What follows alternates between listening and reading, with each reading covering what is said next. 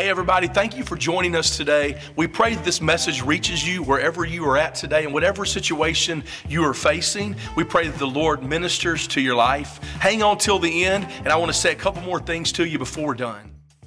Amen. Would you stand to your feet as we honor the reading of God's Word? You got your Bibles, turn to 1 Corinthians chapter 3. I want to jump right into this. 1 Corinthians chapter 3. We're in a series called Building God's Way, but I want to um, talk today, because of everything that's happening around the nation, I want to talk to you today about foundations in a building, but foundations of revival. Foundations of revival. 1 Corinthians chapter 3.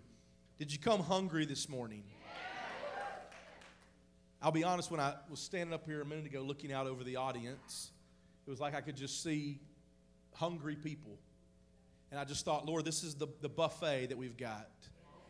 This is it. This is what we've got to present. This is the buffet. And today, as you've, if I can use an old Mississippi term, if you, well, this just sounds bad, bellied up to the bar. It probably sounds bad, but uh, as you come to the table, as you've come to the table, I believe this word is going to awaken some things in you. Amen.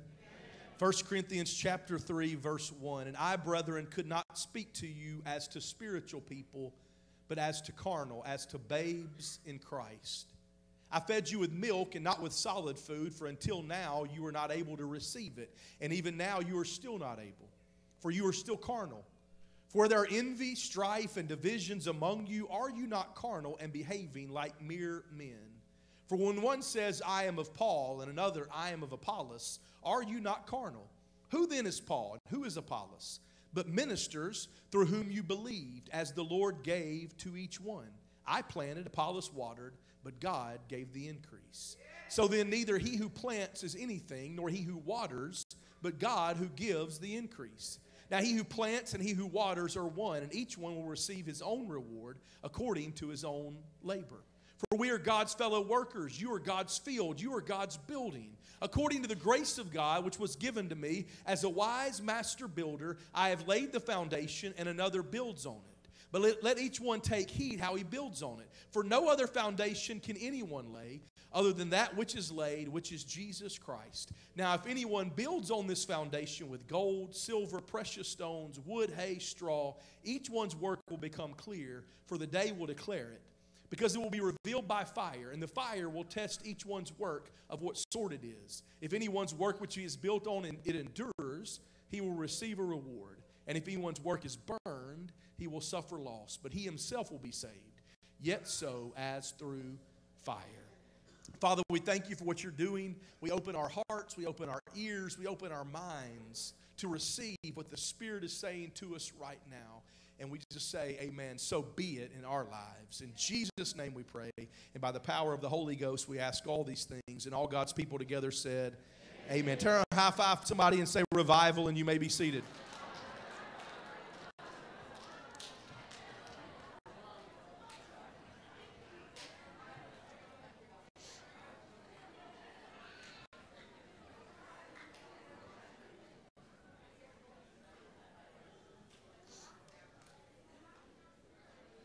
The church at Corinth was like every other church in the world. I got a news flash for you today. There is no church that is perfect. No church that is perfect. No offense, but the moment we walked in, it quit being perfect. Because we're not perfect. And so Corinth was like every other church, it wasn't perfect. And, and you think this is the first century of Christianity. You think everybody's excited, everybody's on the same page. I mean, surely they're going to get it right from the start, but like everything else, they had envy, they had strife, they had these things rising up, and they began to argue over who their favorite preacher was. Who do you have on YouTube? Who do you have on Spotify? Who do you listen to? Which podcast do you listen to? Because I like Paul. I mean, that dude can write some words. I mean, that dude spits out some letters that are amazing. I love me some Apostle Paul. That's some good stuff. And then somebody else said, you know what? I don't really like Paul. That dude preaches too long. Like one time I heard he preached so long that somebody fell asleep in a window and fell out and died. And He had to go pray for him to come back to life. That dude just preaches way too long. Give me Apollos. That's my guy. I mean, Apollos, he preaches it in a way I understand. You and Paul, y'all confuse me. Apollos, we on the same page. I got it, I got it going on with Apollos. And they began to argue who's better, Paul or Apollos? And it was about them trying to figure out. And Paul writes a letter to them and he said, Do you not understand? Number one, we're all on the same team. It's not one versus the other. We're all in this thing together. And he said, Here's what is happening I am doing one thing, and Apollos is doing something else, but they're meant to complement each other. One of us is sowing seed, one is watering, one is doing this, one is doing that. But his point is this but it is God who is giving the increase. It is God who is doing. And then all of a sudden, in the midst of this letter, he shifts gears and he goes from agriculture to construction. And he says, Matter of fact, not only are we sowing seeds, but we are building something. And he said, We're laying a foundation. And Apollos is laying a foundation. I'm laying a foundation. One person is building. But here's the key number one, it is God who is the master builder. It is God who puts all this together and he builds what he is building. And the foundation, even though we're laying the foundation, the foundation is one thing, and the foundation is Jesus Christ. He is the foundation, He's the chief cornerstone. He's the one that we're laying all of this on.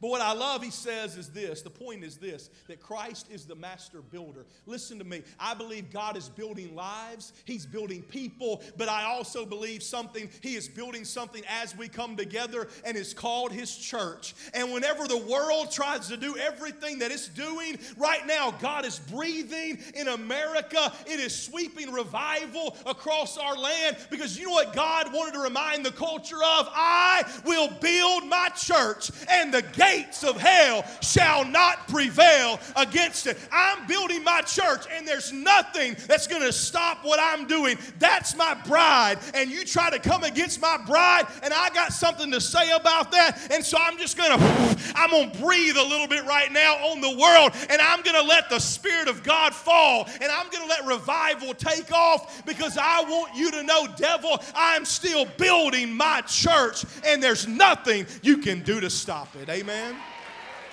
God is building his church. He's the one building, he's the one doing all this. And the, the breath of revival that we see taking place, what we see God doing. Let me say something, a couple things about revival to you. I think it's important to understand this. I don't know exactly, you know, how all this plays out.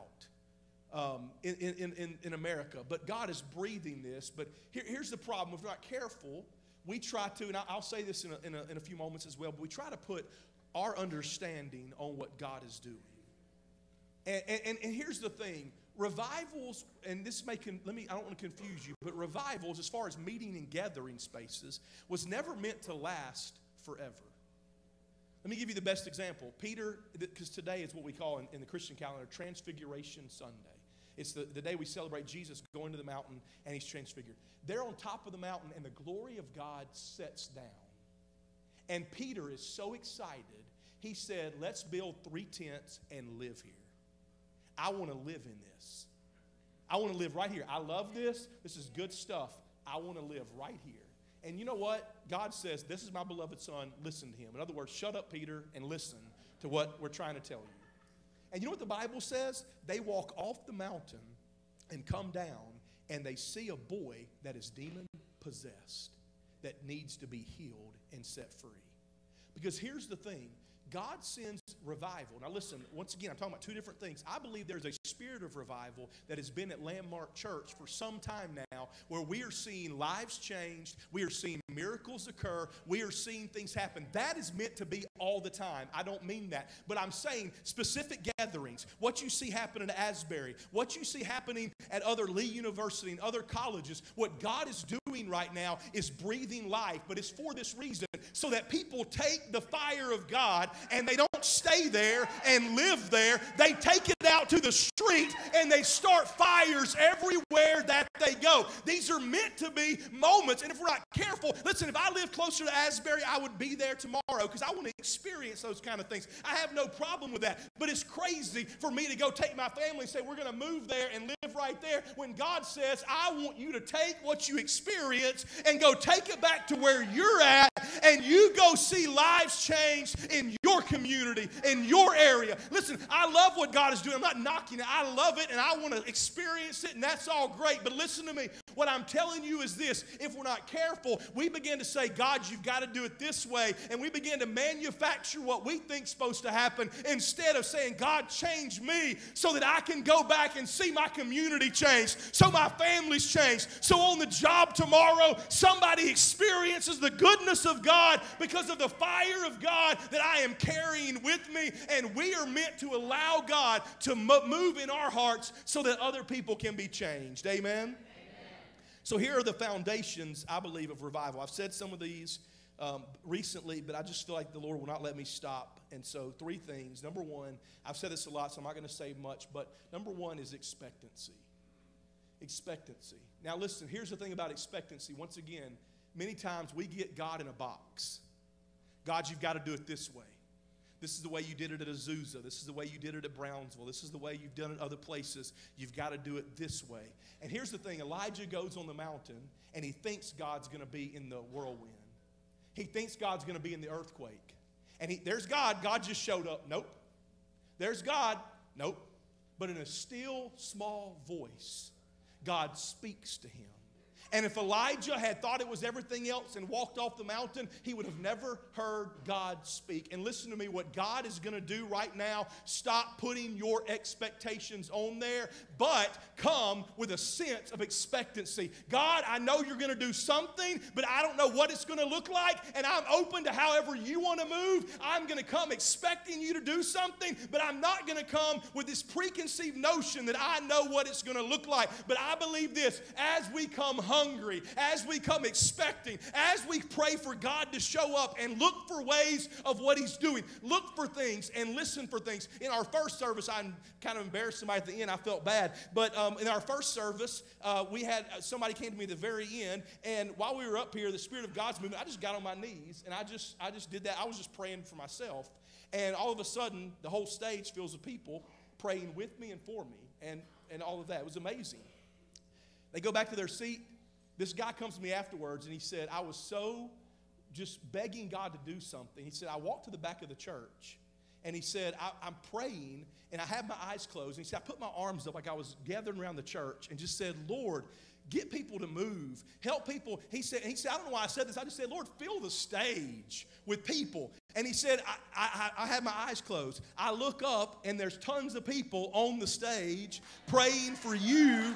And he said, it blew my mind. He said, I just said, Lord, he said, Lord, just answer my prayer. Just show me that you're real and answer my prayer. And then all of a sudden that happened. And what I'm saying to you is this that I believe that as God begins to move, God likes to confirm things in our hearts and just, to, I, I believe, just let, it, let us know He is with us. And this morning, I just want you to know that as we come hungry, it may not look like you think week to week, it may look different, but if you'll come expecting, I believe God can do the supernatural. Amen? Amen. Another foundation of revival, and this is kind of an argument does this start revival or does this come out of revival? But I believe it's all part of that, but it's, it's repentance. Repentance. What I love seeing about Asbury right now, what's going on, is people are openly repenting sins in their life. That God is moving in a way where people are openly saying, God, forgive me of this, and they're confessing sin, and they're, they're being healed because of that. And listen to me, I believe part of what God does in revival is begin to work in our hearts so that we want to repent, that we're not running from Him, but we're running to Him. We're like Isaiah, because many times we think whenever we need to repent that we're far from God. That repentance means we're far away. But the truth is this the closer you get to God, the more you will realize you need repentance in your life on a regular basis. Isaiah sees the Lord high and lifted up, and the train of his robe filled the temple. He had never been closer as far as seeing him like that than he was in that moment. But he didn't say in that, that moment, look at there, praise the Lord, I got to see all this. He says, Woe is me, for I am undone, for I am a man of unclean lips. Whenever he saw the holiness and the goodness of God, he realized how much he needed the grace and the mercy of God. And listen to me, repentance is not a sign that things are going the wrong direction. Repentance is we're going the right direction because the closer we get to the holiness and the light and the goodness of God, the more we realize we need that in our life, and repentance begins to work in us and through us. Amen.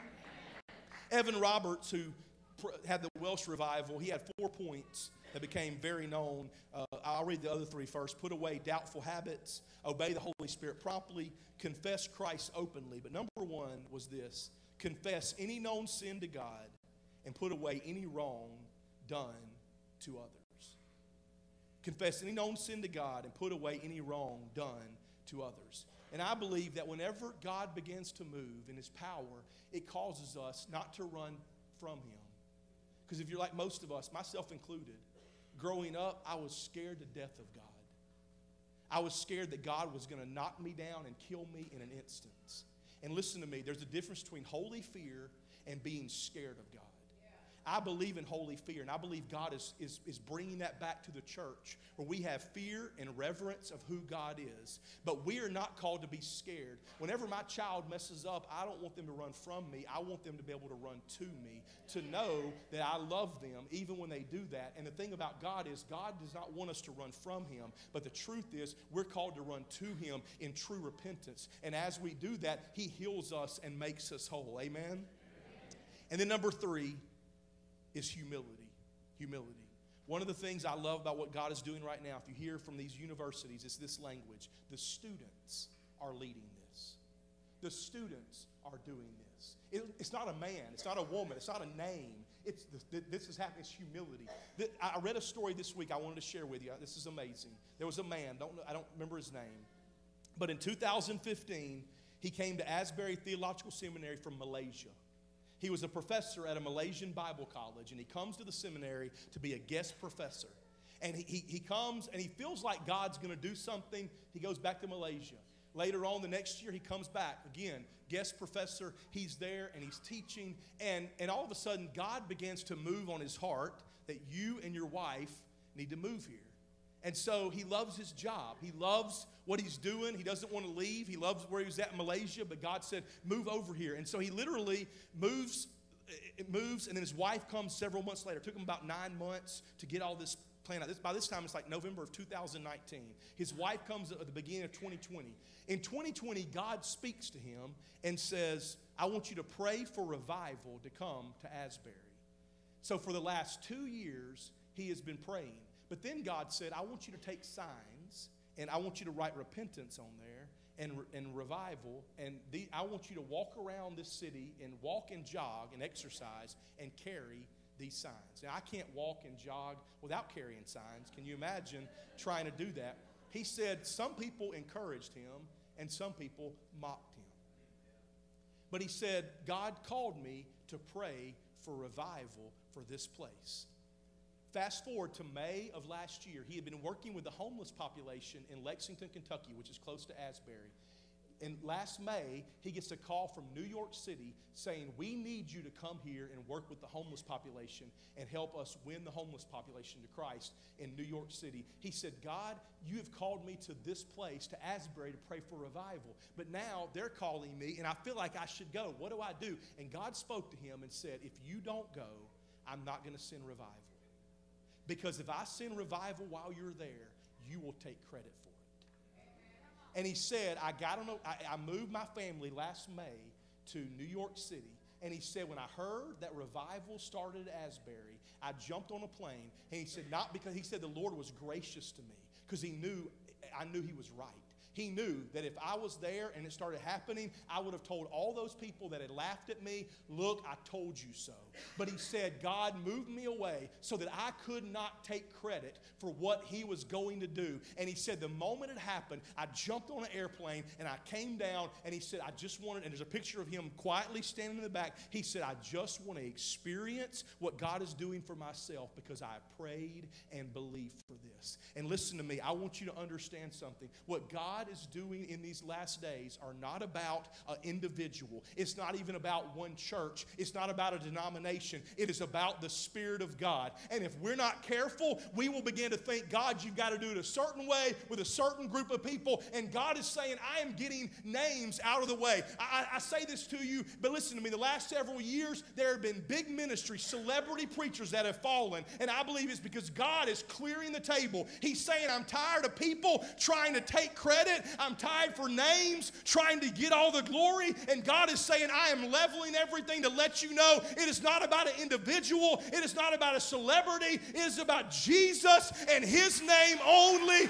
being glorified and magnified. And I believe right now, what God is doing in these last days, these revivals that are taking place, and what God is going to do is not something so one person can take credit for it. It is going to be something He does, and He uses groups of people so that at the end of the day, He gets all the glory out of all of this because He is the master builder. It's not about Paul or Apollos, it's about Jesus Christ. He is the one building, and as long as our foundation is Jesus, listen to me, if your foundation is anything selfish, if your foundation is anything that you want to see happen, or if your foundation is anything sinful, it is going to fall away. But my hope is built on nothing less than Jesus' blood and righteousness. I dare not trust the sweetest frame, but wholly lean on Jesus' name, on Christ, the solid rock I stand. All other ground is sinking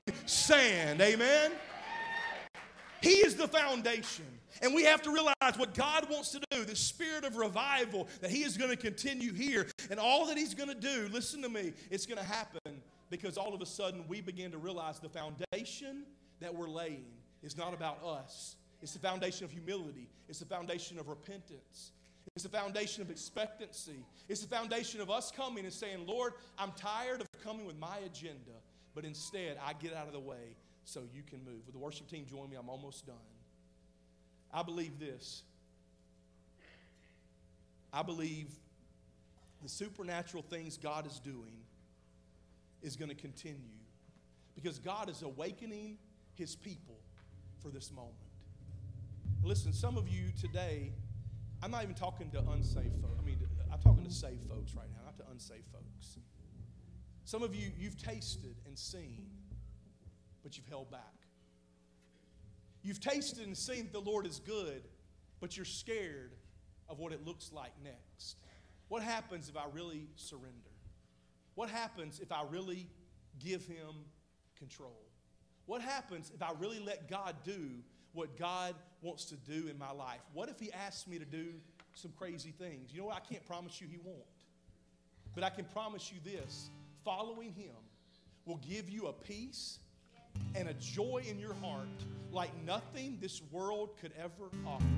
Following Him and knowing that you're right where you're meant to be. And listen to me, I understand we all have different personalities, we express things differently. I get all that. But I'm not talking about an outward expression only, I'm talking about an inward heart, a heart of surrender to Him. God's ready to move in your life right now. Here's what God wants to do He wants to do it in you so that you can take it to where you're at and see lives changed. Some of you have family members who need to be changed by the gospel of Jesus Christ.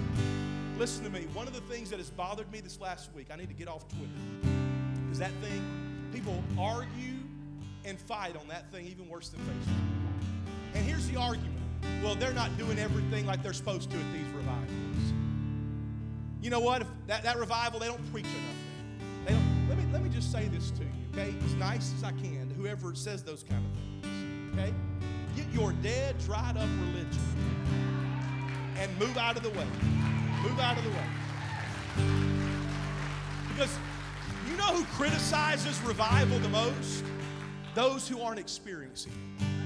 The ones that criticize the most are the ones who aren't experiencing. I believe in, in, in judging everything honestly according to the Bible, making sure, but I am telling you this if we're not careful, we will begin to look at things and we will begin to judge things critically, and we have a critical spirit, and all of a sudden it puts us in a place where we're not open to what God wants to do. But I'm talking to some hungry people today. I'm talking to some hungry people. Listen, there, there are things, there are dishes in my life I used to not like. And you know what? I opened myself up. I was a kid, I hated Brussels sprouts. Those things were nasty. They were of the devil. My dad didn't like them. We'd sit there eating supper, and mama made them. And she'd say, Son, eat your Brussels sprouts. And I'd say, What about daddy? And he would look at me like, Boy, you be quiet. And she'd say, Daddy, eat your Brussels sprouts. And you know what? As I got older, I actually liked those things.